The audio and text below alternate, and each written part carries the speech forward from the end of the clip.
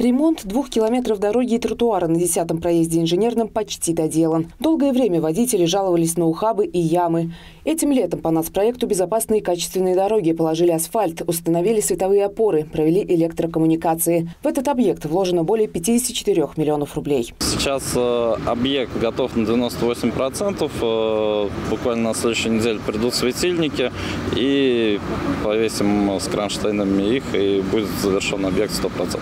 Также обустроит освещение на ближайших пешеходных переходах. А сквер имени Антонова попал в федеральную программу формирования комфортной городской среды. Расширение клумб, тротуары, установка скамеек и урн. В это место отдыха вложено 12 миллионов рублей. Красоту навели специально для растущего населения Заволжья. Потребностью и остались, и уж как раз они просили э, сделать места, куда они могли там семьи там, приходить. У них сейчас количество, количество сотрудников увеличится. Они... А на бульваре Ильюшина построили центр борьбы. Двухэтажное здание современное и просторное. Тренировочные тренажерные залы оборудованы. Готовы вспомогательные помещения. Это медкабинет, санузлы, душевые и раздевалки.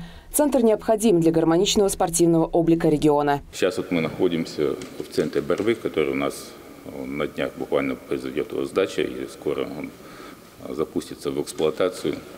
Много местных детишек будет заниматься, осваивать э, приемы борьбы. Ожидаем, что Сан Саныч Карелин к нам приедет на открытие в начале октября. Очень нужный, знаковый объект с учетом того, что много э, наших ребят занимаются именно этим видом спорта, поэтому создали им такие условия.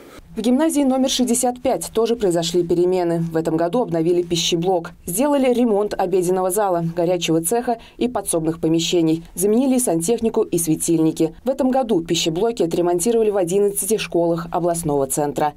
Виктория Черкова, Герман Баранов. Улправда ТВ.